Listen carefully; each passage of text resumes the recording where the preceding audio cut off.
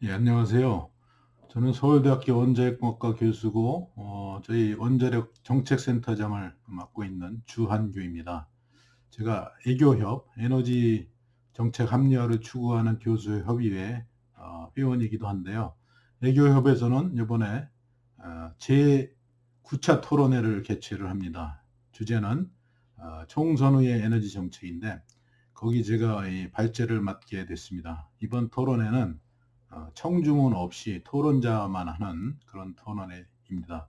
어, 코로나 상황을 고려해서 사람들이 모이지 않도록 그렇게 유의하면서 저희가 토론을 진행하는데 어, 온라인 토론회이기 때문에 미리 이제 토론 발제 내용을 관계, 관심 있는 분들한테 알려드리고 또 이걸 미리 공개해서 혹시 관련된 질문이 있으면 그 질문 내용을 토론 시간에 토론자들하고 같이 논의를 할 수 있도록 사전에 이, 이 발제 내용을 어, 미리 알려드리려고 제가 오늘 이 동영상을 어, 찍고 공개를 하도록 하겠습니다.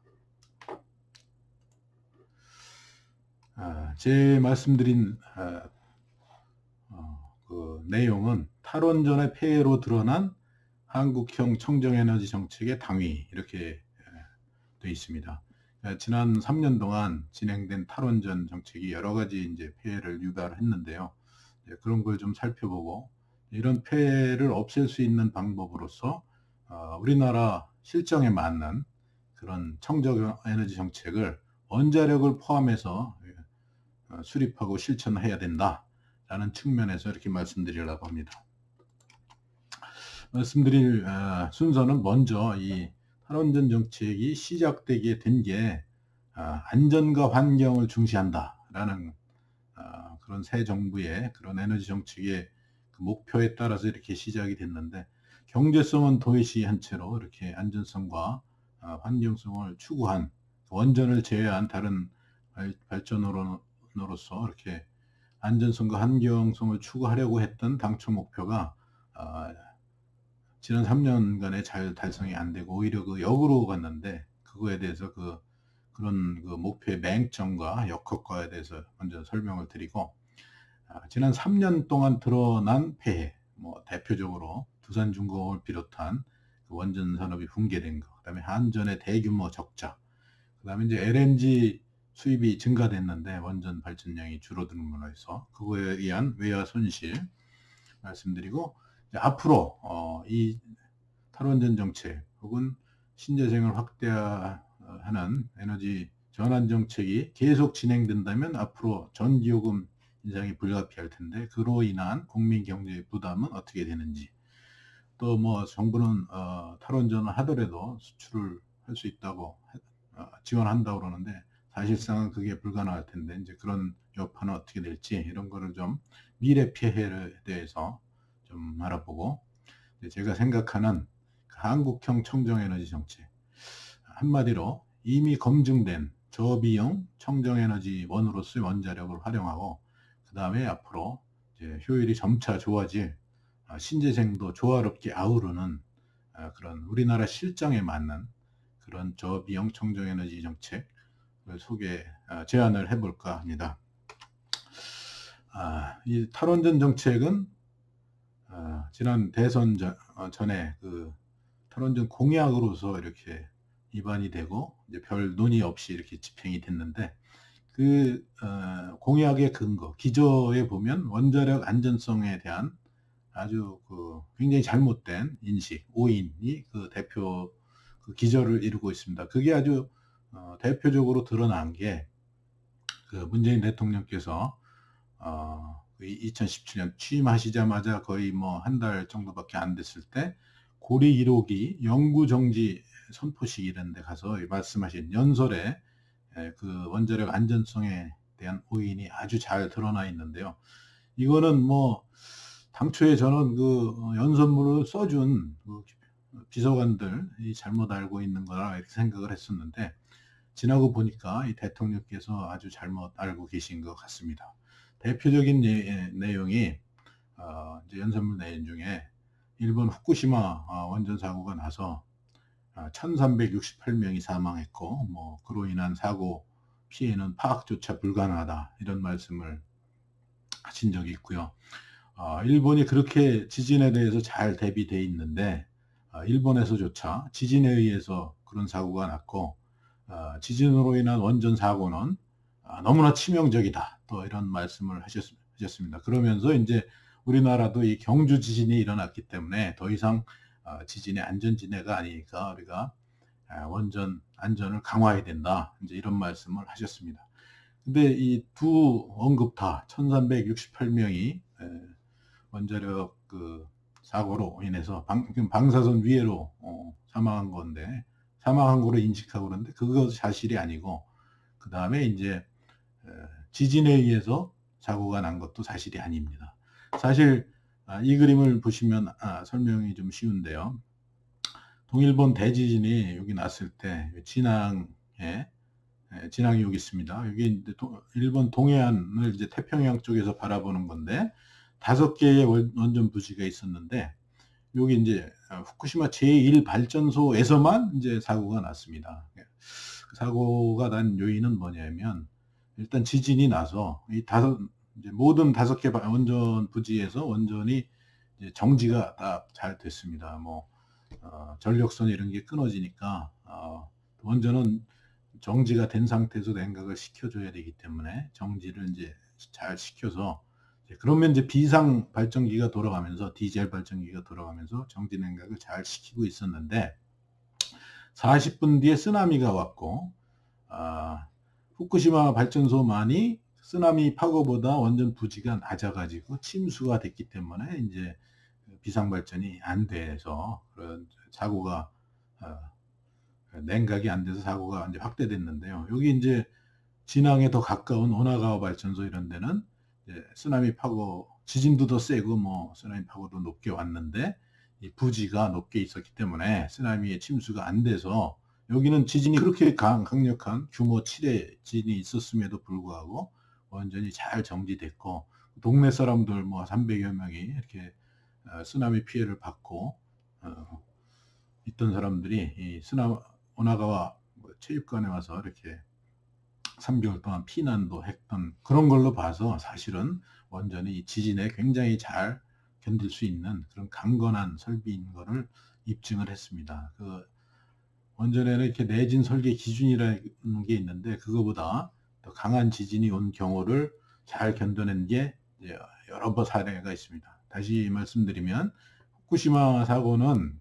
지진이 직접적인 원인이 아니고 쓰나미가 직접적인 원인이고 그 다음에 아, 방사선 위에 사망자도 한 명도 없다. 이것은 그동안 이제 그 유엔의 방사선 영향 과학조사위원회라든지 뭐 세계 보건기구 이런 데서 과학적으로 이렇게 아, 철저하게 아, 이렇게 조사해서 밝힌 그런 사실입니다. 근데 이제 탈핵 운동하는 분들, 환경 운동하는 분들이 이제 대통령한테 잘못 알려드린 거죠. 그래서 어, 대통령께서 심한 어, 오인, 오해를 하고 계시고 있고 그래서 원자력을 하면 안 된다. 탈 탈원전을 해야 된다는 그런 강력한 확신을 갖고 계신 것 같습니다. 근데 어, 그런 인식하고는 또 다르게 대통령께서 지난 그 2018년에 체코를 방문하셨을 때 어, 우리나라에서는 지난 40년 동안 원전이 예, 무사고로 잘 운영됐다. 또 이런 말씀을 하셨어요. 그 원전이 위험할 가능성은 있는데 우리나라에서는 잘 아, 운영됐다. 이런 점을 뭐 강조하고 싶은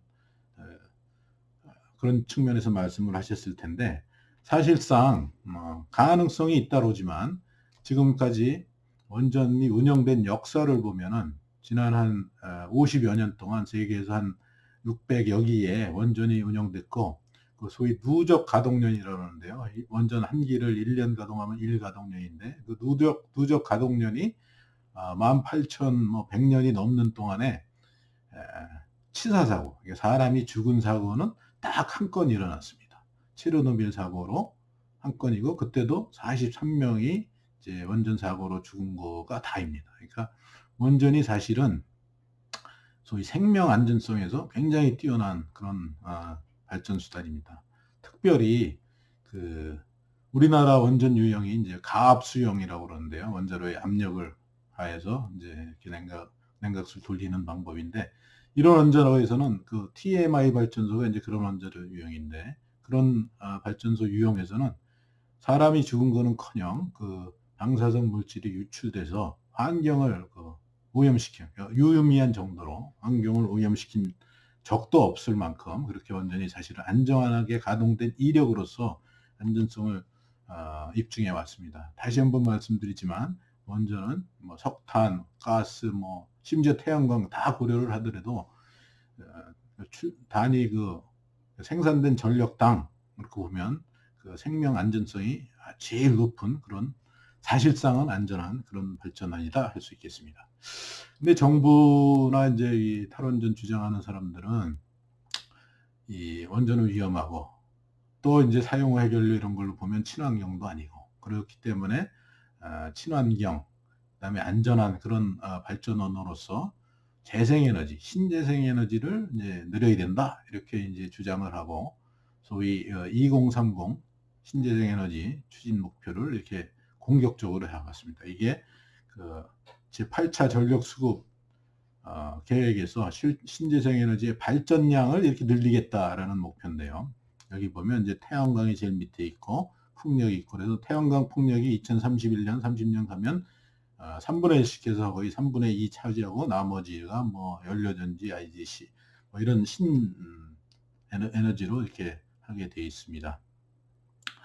그런데 그 그래서 어, 근데 이 증가량 증가시키는 게 굉장히 공격적입니다. 그래서 태양광은 2017년에 5 기가와트 정도밖에 없었는데 이거 33.5 기가와트 6배 이상 이렇게 늘리도록 돼 있고 6.7배 풍력은 이제 1.2에서 더 많이 늘립니다. 15배 늘려서 17.7 기가와트 만들고 그래서 이게 이제 만들어내는 발전량 뭐 태양광은 뭐 잘 아시다시피 아, 하루 종일 가동되는 게 아니고 1년 내내 또 뭐 날씨가 좋은 날, 흐린 날 이런 거 고려를 하, 게 되면 아, 효율이 15% 정도 됩니다. 그래서 아, 평균, 1년 평균으로 보면 하루 24시간이라면 그 중에 3.5시간만, 3.5 내지 4, 4시간만 발전을 할 수 있다. 그래서 이제 이 용량이 이렇게 있어도 여기 기가와트로 표시를 했는데 이걸 뭐 100% 이용률로 다 하면 33.5 기가와트 이어 1년 가동을 하면 어, 그걸 그때 1기가와트로 1년 가동할 때 나오는 전력량은 1기가와트 이어라고 그러는데 물론 100%라면 33.5게 되겠지만 실제로는 이제 어, 효율을 고려하면은 4.8 기가와트 정도밖에 안 됩니다. 아, 그래서 발전량으로 봤을 때 태양광을 4.8 기가와트, 그다음에 풍력을 4.9기가와트. 어, 여기 그래프에도 보시는 것처럼 두 개가 같은 정도로. 이거 사실은 풍력을 굉장히 많이 늘려서 공격적으로 이렇게 잡은 거죠. 근데 음, 지난 한 3년간 태양광과 풍력의 그 어, 발전 설비, 아, 전력량 그 증가된 걸 보면은 태양광의 경우 이 빛글친 노랗게 한 것 중에 빛글친 게 이제 목표였습니다. 이렇게 그 아까 보여드린 어, 8차 전력 수급 계획에 따르면 이렇게 올라가게 돼 있는데 실제로는 이, 이 노란 색칠 4대에 있는 이 바처럼 굉장히 훨씬 더 많이 이렇게 올라갔고요. 그래서 연평균 38%씩 3년 동안 이렇게 올라갔고 작년에는 2018년에 비해서 작년에는 거의 한 45% 정도나 이렇게 올라갔습니다. 16년만 해가지고는 3.6기가와트. 그러니까 원자력 발전소 한 기가 1기가 같은데 대개 뭐 거의 3.5 내지 4기가에 해당되는 어, 엄청난 그런 발전 설비가 늘어나서 19년 만에도 보면 이제 그게 17.1기가와트가 됩니다 이미 그리고 그거에 의해서 생산한 전력량이 이제 여기 음, 선으로 그려진 건데 여기 노란 게 이제 태양광 그래서 태양광이 1.5 기가와트가 돼가 기가와트 이어가 돼가지고 당초 목표로 했던 음, 1.08 기가와트보다 거의 50% 정도 더 초과 달성을 이렇게 했습니다.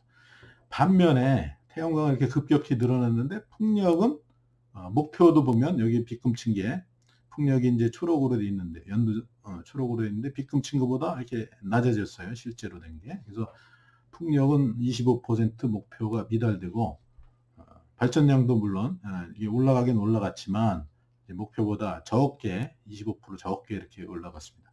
태양광이 아주 급속하게 이렇게 예, 확대가 거죠.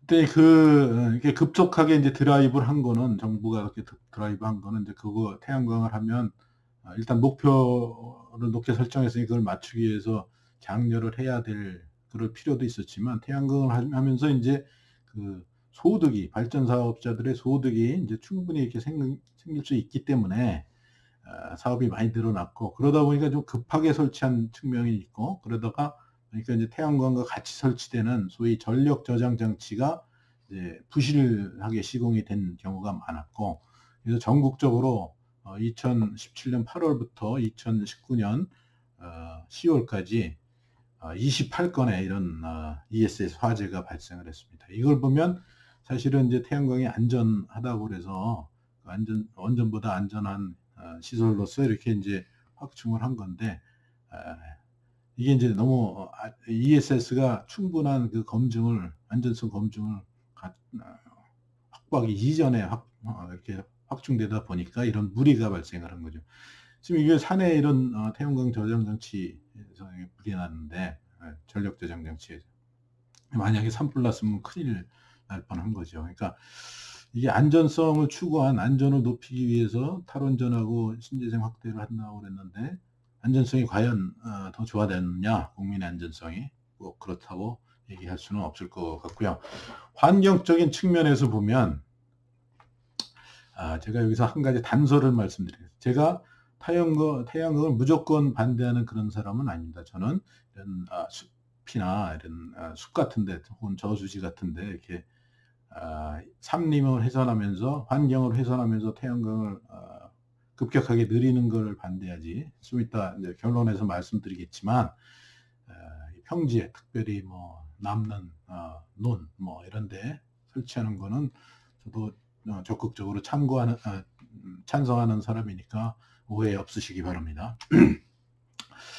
아, 이제 또 하나 지금 말씀드린 대로 태양광의 문제점은 이렇게 급격히 어, 급속히 확자, 확대를 하다 보니까 아, 이제 야산에 또 산에 또 어떤 높은 산에도 있는데 이렇게 아, 나무를 베내고 어, 확장시킨 게 이제 제일 큰 문제죠. 이건 제가 구글에서 어, 태양광 산림훼손 이렇게 검, 이미지 검색을 해봤더니 나온 장면입니다. 뭐 보시면 아시겠지만 아, 상당히 많은 면적. 그러니까 이건 19년 어, 4월에 윤상직 의원실에서 어, 산림청에서 받은 자료를 공개한 건데요. 3년 동안 44평방킬로미터의 산림이 훼손됐고 그거는 이제 44면 평방킬로미터는 여의도 면적이 이제 15배 정도 되고 거기서 베어진 나무가 233그루다. 3만 그루다. 이제 그렇습니다.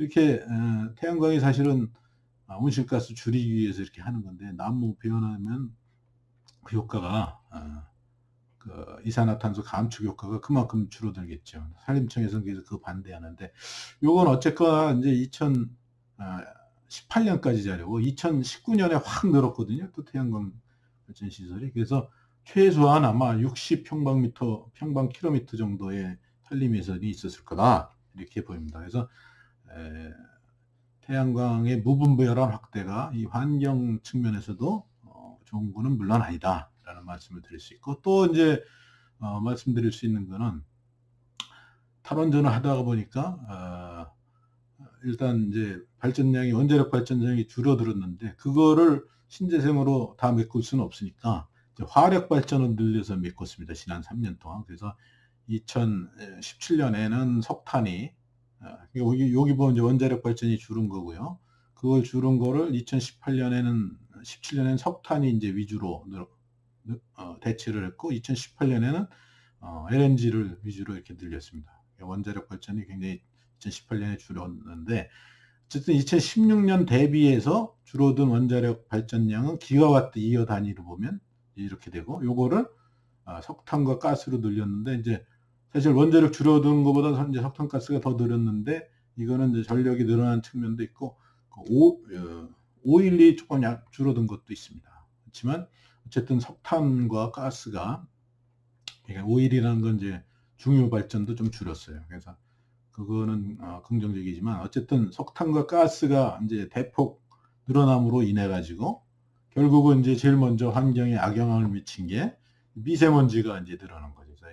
여기 미세먼지 나쁜 날에 이제 그 PM10이 121부터 200 마이크로그램 퍼 입항미터.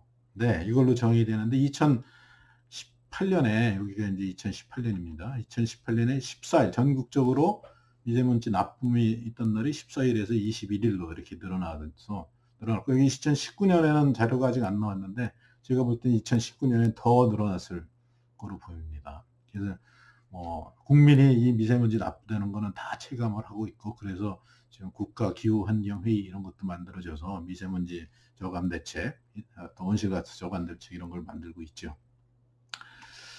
아, 온실가스가 이제 두 번째 예, 환경적인 문제입니다. 이게 국가 온실가스 이제 로드맵에 따르면 우리 2016년부터 2030년까지 매년 한 360만 톤씩 이렇게 아, 이산화탄소 온실가스를 줄여 나가야 되는데 예, 화석, 화력 발전이 늘어나다 보니까 실제로는 이렇게 연두색 커브처럼 늘어났고요.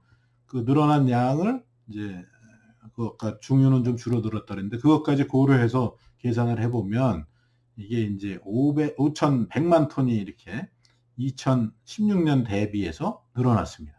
근데 사실은 줄였어야 했거든요. 2016년부터 줄였어야 되니까 요 면적이 사실은 목표량이었는데 이거는 이제 360만 톤씩 매년인데 3년 하면 이제 이게 6배 돼가지고 2,200만 톤 줄였어야 되는데 오히려 5,100만 톤이 늘어난 거죠. 그렇다고 총 목표로 대비해서 보면 이게 7,300만 톤이나 이제 초과해서 목표 초과해서 이렇게 이산화탄소가 급격히 늘어났고 이게 이제 우리나라가 이제 국제사회에서 소위 기후 악당이라고 이렇게 지탄을 받는 그런 이유가 되는 겁니다. 이산화탄소가 이렇게 늘어날 수밖에 없는 거는 뭐, 아, 이 석탄 발전은 어, 이게 킬로와트 아워당 제일 많이 이렇게 이산화탄소를 발생시킵니다. 이거는 여기 820이라고 돼 있는 거는 이제 생애, 그러니까 뭐 건설이나 뭐 폐기까지 이런 거 다 고려했을 때, 어, 석탄은 킬로와트 아워당 820, 그다음에 가스는 4, 490, 원자력은 12 이렇게 돼 있는데 실제로 이제 가동 중만 연료를 넣어서 이제 그 가동할 때 생기는 그 네. 그때만 이제 이산화탄소를 보면은 석탄은 760, 좀 줄죠. 그다음에 이제 가스는 더 많이 줄고 뭐 이게 가스를 생산하고 뭐 운반하고 그럴 때도 이제 이산화탄소 혹은 온실가스가 유출될 수 있으니까 이게 더 높은 원자력은 당연히 어, 가동 중에는 배출되는 이산화탄소가 없습니다. 물론 이제 건설할 때 뭐 콘크리트도 어, 타설해야 되고 뭐 철근도 만들어야 되고 그런 거까지 생각하면 이제 12g이라는 건데 어쨌든 가동할 때 이제 760g의 어, 이산화탄소가 킬로그램 아워당 나오고 그거를 석탄의 경우 그렇습니다. 100만 킬로와트짜리 즉 1기가와트짜리 발전소를 1년 풀로 가동을 했다. 뭐 이용률 100% 이제 100%는 아니지만 이거 예를 들어 80%면 이거에 80%만 치면 됩니다. 그러면 석탄은 이제 670만 톤의 어, 이산화탄소를 발생시키고 요걸 요걸 가지고 계산한 겁니다. 이거는 이제 사실은 IPCC라는 국제 그 기후 변화 국제 패널에서 어, 제공한 아주 그 공인된 그런 수치입니다. 그다음에 이제 가스는 320만 톤. 예, 그래서 어, 이만큼씩 1년 동안 이 화력 발전소를 가동하면 이만큼씩 이산화탄소가 발생되는데 아까 말씀드린 대로 우리나라는 매년 뭐 360만 톤씩 이렇게 줄여 나간 그만큼 어, 연화탄소 줄여 나가야 되니까 가스 발전소 하나 이상을 줄여 나갔어야 되는데 이제 그거 거꾸로 된 거죠. 근데 이산화탄소가 나오는 이 화력 발전소는 환경적인 부담도 이제 문제지만 그게 이제 경제적인 부담으로도 이렇게 볼 수 있습니다. 지금 이제 국가별로 이렇게 감축 목표를 정해놨고 그거를 달성하기 달성하지 못하면 이제 국외에서 사든가 이렇게 해서 아, 탄소권 거래를 통해서 이렇게 목표를 만, 만족시켜야 되는데 지금은 그 탄소세가 톤당 4만 원 정도 됩니다. 톤당 4만 원이라는 얘기는 킬로그램당은 40원이고 어, 그러면 이제 이 킬로와트 아워당 나오는 그 어, 이산화탄소가 이제 0.76kg이니까 이거 곱하면 석탄의 경우는 이게 원가에서 30원의 그 추가적인 부담이 생깁니다. 탄소세를 이제 고려한다면 지금 이제 석탄이 원가가 한뭐 70원, 80원 킬로와트아워당 이렇게 되는데 탄소세 내면은 거기 30원이 더 붙어가지고 그냥 100원, 뭐 110원 이렇게 가는 겁니다. 가스도 이미 지금 120원인데 15원이 더 붙는 거고요. 자, 지금까지는 이제 그 신재생 확대 이런 거 하면서 아, 그러니까 탈원전 하면서 신재생 확대하려고 그러면서 발생했던 어, 안전과 환경의 문제 그 다음에 이제 탈원전으로 대체된 이산화탄소 어, 탈원전으로 대체된 화력발전 증가가 초래된 초래한 이산화탄소의 증가의 문제 아, 그 다음에 뭐 미세먼지 나쁜 날 증가의 문제를 봤는데요. 지금부터는 탈원전이 이제 원자력에 직접적으로 초래한 그런 악영향을 좀 보겠습니다. 제일 대표적인 게 원자력 산업계의 몰락입니다. 이게 어, 두산중공업 같으면 이제 어, 7차 전력 수급 계획 같으면 어, 짓게 돼 있는 6개의 그 원전이 에, 없어졌고요. 그, 그 중에서 이제 신한울 3, 4, 5기 같으면 어, 그 짓게 돼 있는 거 공사도 이미 시작했기 때문에 거기에 납품할 그런 주요 기기도 만들고 있었는데 그게 한 뭐한 뭐, 6, 7 6천억 뭐 이 정도 된다고 그걸 이제 만들지 만들어 놨는데 돈도 안 주고 앞으로도 할 일감이 싹 없어져 가지고 이제 미래가 없어진 거죠 두산중공 같으면 그래서 이제 주가가 과거 22,000원 선했던 게 지금 3,500원도 안 되게 66분의 1로 떨어졌고요. 공장 이제 가동률이 그래서 어, 일감이 없어지니까 이미 신, 신한으로 5급만 만들, 아, 신한우 3, 4급만 만들어 놨고 그래서 올해는 10%밖에 안 될 거고 이런 이제 경영성의 애로를 어, 극복하기 위해서 뭐 순환휴식 이런 거 실시하다가 도저히 안 되니까 명예퇴직도 하려고 그랬다가 이제 얼마 전에 이 휴업을 추진하게 됐고 정부에서 이제 어, 그 결국은 이렇게 가다 보면 이제 부도가 나고 도산이 될 테니까 공적 자금 아, 1조 원을 이제 투입하기로 결정을 했는데 제가 볼 때 이거는 앞으로 이제 미래 일감도 없고 비전도 없는데 거기 뭐 투입 이런 공적 작업 투입하는 거는 밑빠진 독에 물붓기가 아닌가 이렇게 생각을 합니다. 일을 주는 게 낫지. 그래서 두산중공업 회생하고 또 관련된 좀 이따 말씀드리겠지만 또 관련된 원자력 중소기업들도 다 죽어가고 있는데 회생 혹은 소생을 시키려면 신한을 지금 3, 4, 5기 공사를 하고 있다가 중단을 했거든요. 그거를 다시 재개를 하는 게 저런 공적 자금 투입해서 국민 부담을 늘리는 것보다 이미 확보된 예산을 가지고 공사를 어, 시작, 아, 공사를 재개하는 게더 어, 효과적인 그런 방법 방안이라고 생각을 합니다. 지난 3년간 그 어, 중 원자력 중소기업들 어, 특별히 주산중공업에 납품하던 그런 중소기업들은 납품 계약이 2,836건에서 100, 1,100건으로 거의 60% 줄었고요. 계약을 하는 업체 수도 325개에서 219, 그냥 106개 업체가 일감을 상실했고 이런 것들이 대부분 이제 창원 지역에 몰려 있어서 창원 지역에서는 중소기업의 86%가 경영난을 난에 직면했다는 그런 사실입니다. 그 다음에 두 번째 이제 산업에서의 문제는 어, 대표적인 게 한전의 적자입니다. 한전이 2016년에는 16조 이상 수익을 내던 기업이 2018년에 2천억 적자를 거쳐가지고 이제 급기야 1조 3,566억 원 대규모 적자로 이렇게 전환이 됐고 부채도 이렇게 부채율도 143%에서 187%로 확 올라갔습니다.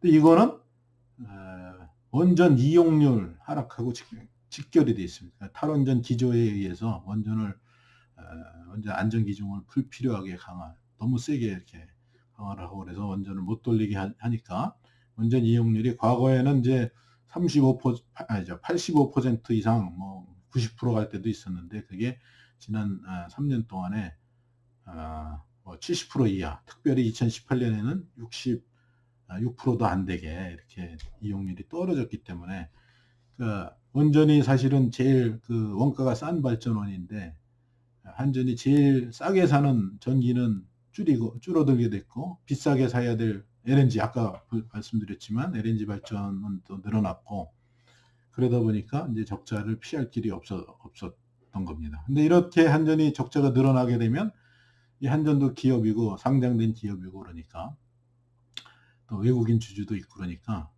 계속 적자를 볼 수는 없고 결국은 이제 전기 요금을 올려야 되는데 정부에서 추진하는 거는 산업용 전기요금을 올리겠다 이제 이렇게 그런 전략으로 갑니다. 근데 우리나라 전기요금이 뭐 굉장히 싼 거라고 이렇게 일반적으로 어, 알고들 계시지만 산업용 전기요금을 보면은 OECD 어, 국가 중에서 우리가 싼 순서로 보면 17위 정도밖에 안 됩니다. 우리나라보다 더 싼 전기를 갖고 있는 산업용 전기가 싼 나라가 16개 나라나 있다는 겁니다.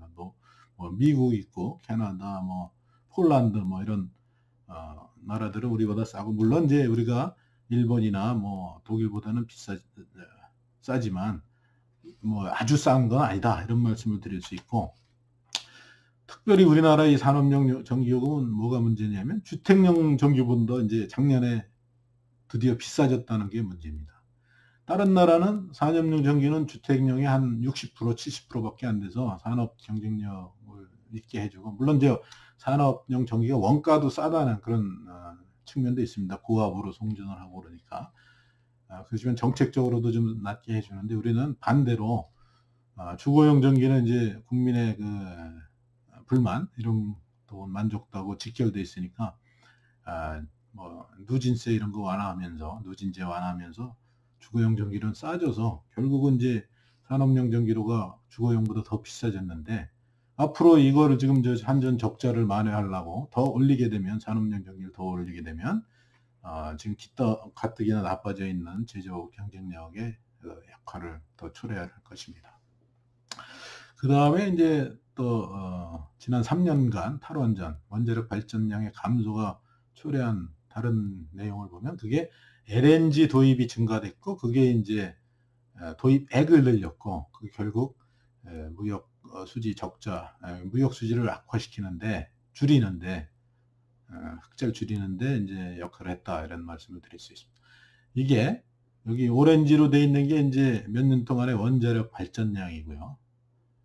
이쪽이 어, 이제 이거는 축은 다르지만 이쪽은 LNG의 도입량입니다. 이걸 보면은 원자력이 늘었을 때는 LNG 수입이 줄고 거꾸로 원자력이 줄었을 때는 LNG가 늘고 이런 게 확연히 보입니다. 소위 역동조 관계에 있다라고 볼 수 있는데 그래서 만약에 어, 우리가 탈원전 안에서 원자력 발전장이 줄, 줄지 않았고 그러면 이제 LNG도 그만큼 덜 도입을 해도 됐겠죠. 그래서 만약에 2016년 정도의 원자력 발전 비중을 그대로 유지하면은 어, LNG 수입 줄어든 게 에, 얼마고 그, 그거로 의한 도입액이 얼마나 줄을까 계산을 해보면 그게 지난 3년 동안에 한 3조 2,500억 정도나 우리가 줄일 수 있었는데 어, 줄이지 못하고 LNG 수입을 추가로 이렇게 하느냐고 돈을 외국으로 이렇게 그냥 어떻게 보면 낭비를 했다 이렇게 말씀드리겠습니다. 저게 이제 탈원전의 직접적인 손해액이라고 볼 수 있죠.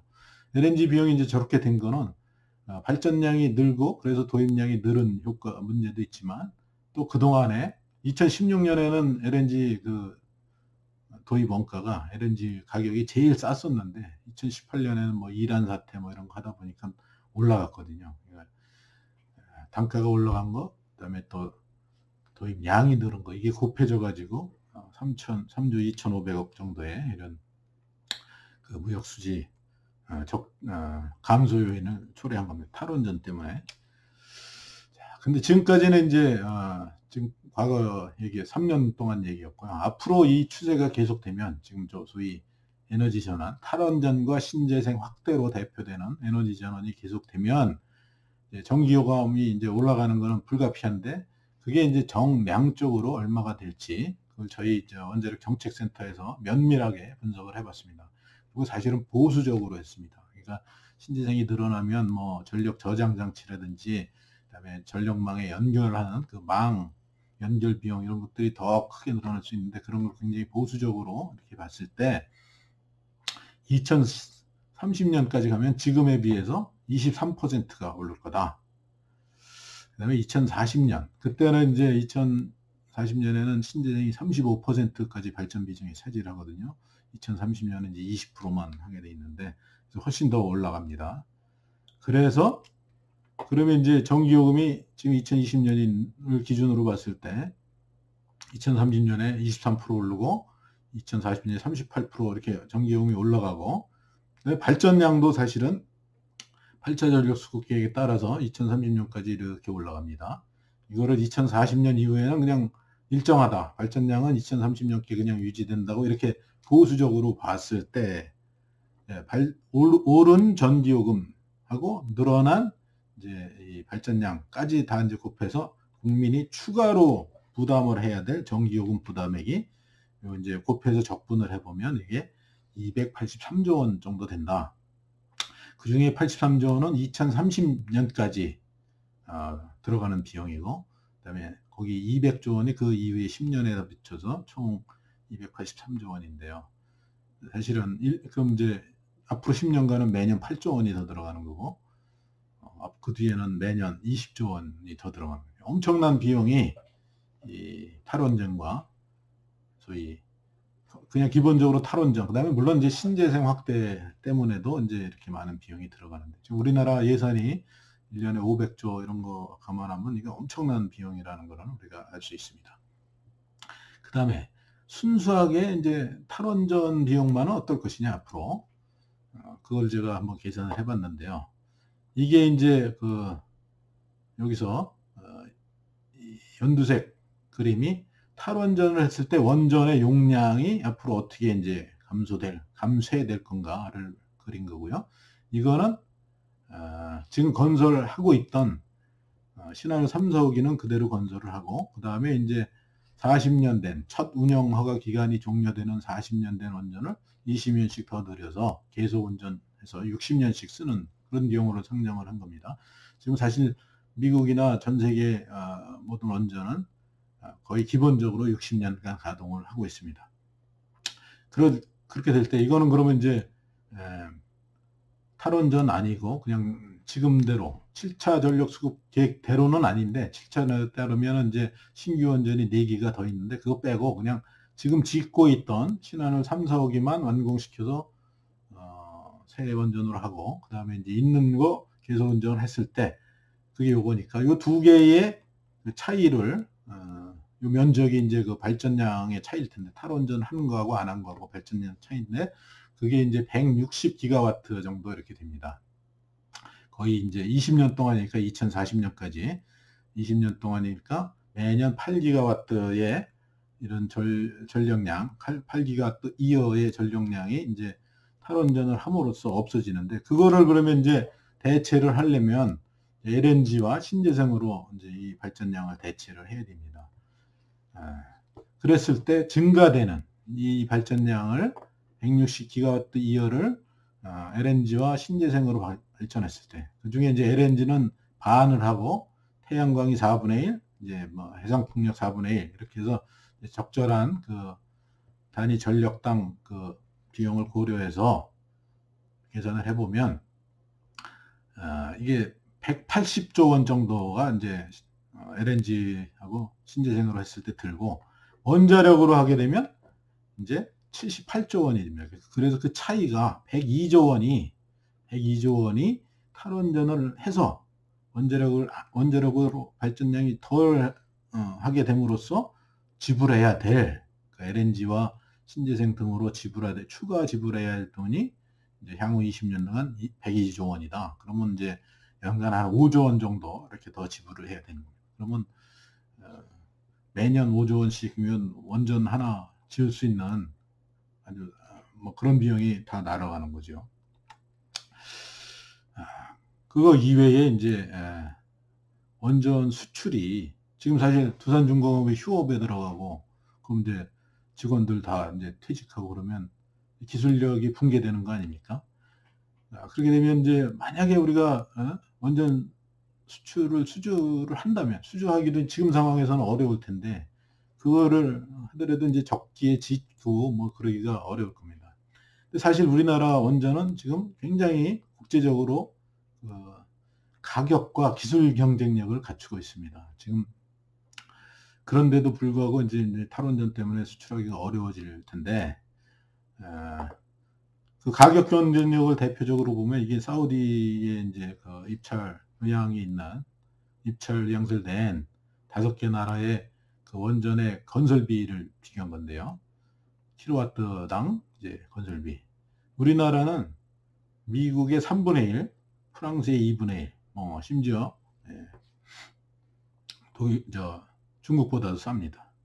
그리고 우리나라의 그 기술력, 그 다음에 적기 시공 능력 이런 거는 이미 그 UAE 아, 지금 바라카 원전 4개 거의 예정대로 다 짓고 있는데 그걸 성공적으로 적기에 예산 내에 건설함으로써 그 이제 어, 실력을 인정받은 거죠. 그런 그 원전 수출, 이제 기당 한 뭐 10조 원 정도의 이런 그 국부를 창출할 수 있는 그런 원전 수출이 앞으로 아, 탈원전을 하게 되면서 어, 수출을 할 가능성이 굉장히 낮아지게 되고 수출하더라도 적기에 이렇게 건 설해서 공급할 수 있는 이 UAE 원전처럼 때 맞춰서 공급할 수 있기가 어려워질 겁니다.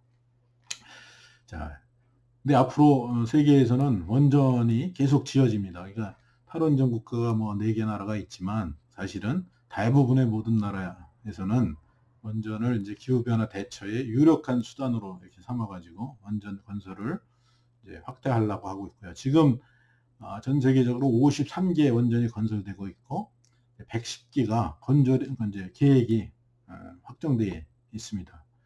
그래서 110기 중에 중국하고 러시아가 지네 나라에서 지을 거를, 지을 거를 제외하면 한 50기 정도는 어, 우리나라가 이렇게 수주할 수 있는, 수주할 가능성이 있는 건데 이런 수주 점 가능성이 탈원전에 따라서 이제 어, 굉장히 약해질 거가 탈원전의 이제 중요한 그런 그 폐해, 악, 역효과가 될 겁니다. 월, 그 IEA에서 만든 세계 그 원, 음, 에너지 전망도 보면 이제 원전 설비가 재생에너지만큼 늘어나진 않지만 뭐 연 1 내지 1.7% 이렇게 늘어날 거고 또 이제 퇴역하는 원전까지 고려할 때 2040년까지 233 내지 353 기가와트의 원전 수요가 있어서 원전 앞으로 건설할 수요가 충분히 있는데 탈원전으로 그런 어, 수백 조의 원전 시장을 이제 놓치게 되는 거니까 이제 어, 탈원전의 그 대표적인 폐해로 어, 될 수가 있습니다. 그렇지만 이제 결국 세계적으로 보면은 이 기후변화 대처의 수단으로서 요즘에는 이제 그 신재생 에너지 재생 에너지 확대가 이제 추세입니다. 그거는 우리가 부정할 수는 없는 거고요. 우리나라에서도 그 추세에 맞춰서 어, 재생 에너지도 적절히 이제 확대를 해야 된다는 게 제 생각인데요. 이 그래프가 이제 소위 스완슨스 로라고 그래서 어, 태양광 패널 생산량이 두 배가 될 때마다 단가가 20% 하락한다. 건데 이제 그, 그 20% 선이 초록색으로 돼 있는 건데 그보다 실제로는 더 빨리 이렇게 떨어지고 있다.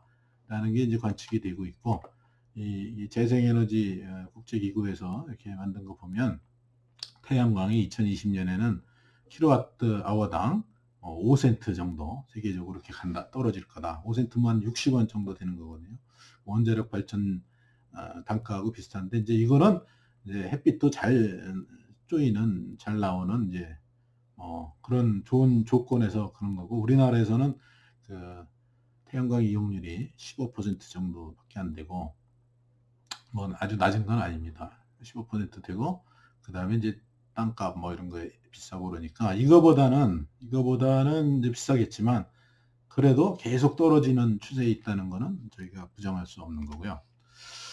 아, 제가 이제 태양광을 계속 강조를 어, 태양광도 확대를 하, 할 필요가 있다고 강조를 하는 거는 우리나라에서 보면 예, 개인당 그 쌀 소비량이 이렇게 계속 줄어들고 있습니다. 갈수록 밥을 덜 먹고 딴 거를 이제 먹다 보니까 아, 쌀 소비량이 줄고 그러려면 이제 그 그만큼만 생산을 하면 되는데 생산 면적은 그렇게 많이 줄지를 않아서 벼를 생산하는 논 면적은 이제 그렇게 많이 줄지를 않고 그래서 2024년 이렇게 가보면 적전 생산량 어, 면적이 지금보다 이제 상당히 어, 여기 60만 헥타르 이렇게 돼 있는데 지금이 한 70만, 어, 75만 헥타르 있는데 이만큼 이제 땅이 남을 수 있다는 얘기입니다.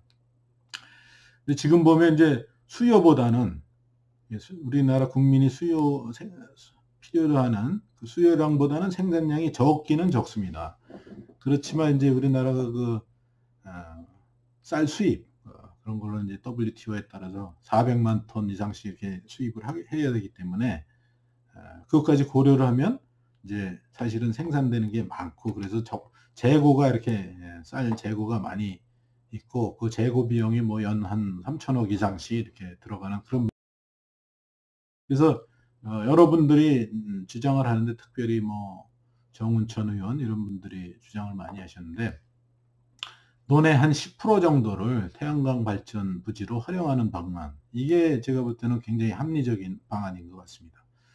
그러니까 논 전체, 논 전체를 하는 게 아니고 어떤 10% 어, 정도 하고, 그 다음에 이제 뭐 20년 지나면 딴 데 10% 하고, 이런 식으로 하면 되는데, 그거를 이제 어떤 개인이 하기는 어려울 거고, 어떤 특정한 개인한테만 혜택을 주는, 그거는 곤란할 거고, 그래서 이건 뭐 협동조합식으로 하자는 방법, 이런 걸 뭐 정우천 의원이 제시를 하셨는데 그 구체적인 방법은 뭐 또 숙고를 해서 어 이렇게 할 수는 있을 건데 원칙적으로 어 논에다가 이렇게 10% 정도만 태양광 발전 시설을 하게 되면 일단 건설비도 싸지고 그다음에 계통에 연결하기도 쉽고 그래서 원가가 낮아져서 음 그렇게 많은 보조금 없이도 태양광을 이제 늘릴 시설을 늘릴 수 있지 않을까 이제 이렇게 볼 수 있습니다. 근데 그럼에도 불구하고 암만 싸져도 태양광이 이제 원자력이나 다른 그 발전원 비해서는 아, 더 생산 발전 원가가 비쌀 거고요. 그러니까 그거에 대한 그 보조금을 이제 지급해야지 국민의 그 전기요금을 많이 올리지 않고도 어, 이 태양광을 확대할 수가 있을 텐데 그 보조금의 원천은 아, 원자력일 수밖에 없습니다. 원자력은 이 그림에서 이제 어, 보이다시피 발전 원가는 한 뭐 요새는 한 60원 킬로와트아워당 60원 선이고요. 한전은 이제 그렇게 60원 선에 어, 원자력 전기를 사가지고 팔 때는 한 110원 정도 이렇게 팝니다. 그래서 한전은 원전 1년 가동한 전기 팔면은 연 4,400억 이익이고요. 이제 LNG는 요새 보면 한 120원 정도 해가지고 원전은 이제 어, 원전하고 어, LNG하고 차이를 보면은 원전은 LNG 대비 한 5,300억 정도 이렇게 어, 이익이 있습니다. 한전 입장에서 보면 LNG는 이제 비싸게 사는 거죠. 이만큼. 이 차이 한 천, 천억 정도를 손해를 보는 거예요. LNG 전기를 사면서. 어쨌든 이제 어, 한전은 원자력 전기를 이렇게 싸서 싸게 사가지고 이 정도 가격에 팔므로써 한 6초, 6조, 연간 한 6조 원 정도의 그 차익을 남기고요. 그거를 이제 재생에너지 보조금으로 이제 사용을 하는 겁니다. 그래서 작년 2018년에는 아, 보조금만 2조 아, 원이 넘었고 2019년에는 한 3조 원 정도가 되는데 이 원자력이 이런 보조금의 원천 태양광이나 이런 다른 재생에너지 보조금의 원천이라는 거 재생에너지 하는 분들이 잘 아시고 원자력과 같이 이렇게 가려고 노력을 해야 아, 될줄 압니다. 그래서 제가 아, 주장하는 한국형 청정에너지 정책 이거는 기본적으로 이미 검증되어 있는 저비용 청정에너지 이산화탄소 제로 어, 미세먼지 제로 그 다음에 발전원가 제일 낮은 저비용 청정에너지는 원자력을 지속 이용하자는 겁니다 그렇게 이용할 필요성은 먼저 이제 어, 미래 4차 산업 시대에 이제 또 계속 이제 안정적으로 대용량 전원이 꼭 있어야 되고 특별히 우리나라 같은 경우에는 천연 에너지 자원은 변변치 않고 재생 에너지 여건도 뭐 미국이나 이런 태양이 잘 태양이 잘 비치고 음, 바람도 센 이런 나라에 비해서는 많이 약하고 그 다음에 이제 그 반면에 아, 기술 집약적이고 고밀도로 생산할 수 있는 청정 어, 원자력 전력원인 원자력에 대해서 우리가 기술도 이미 갖고 있고 그렇기 때문에 원자력은 우리나라에 제일 적합한 그런 에너지원이다 볼수 있습니다. 그리고 원자력을 이제 어, 계속 유지함으로써 어, 지속적으로 유지함으로써 지금 이미 세계 최고 수준을 도달해 있는 그런 원자력 산업 생태계를 유지하고 강화를 해서 이제 아까 말씀드린 대로 해외를 이렇게 진출하는데 수출하는데 교두보 내지는 이제 진검다리를 이렇게 삼을 수가 있고요. 말씀드린 대로 재생에너지 확대를 위해서도 어, 보조금의 원천인 원자력을 유지하고 확대할 필요가 있다. 그래서 원자력을 지속적으로 이용하되 앞으로 이제 어, 효율이 점점 점점 좋아질 재생에너지도 어, 같이 조화롭게 원자력과 같이 이용을 해서 국산 청정에너지원으로 활용을 하자. 대표적으로 이제 농촌 태양광을 아까 제가 화두로 꺼냈습니다만 이제 이거 이에 대해서 논의를 하면 이제 말이 많을 겁니다. 그렇지만 저는 이게 하는 게 좋겠다 이렇게 생각해서 어, 농촌 태양광을 장려하는 방안을 우리가 모색을 해보자. 한국형 청정에너지 정책으로.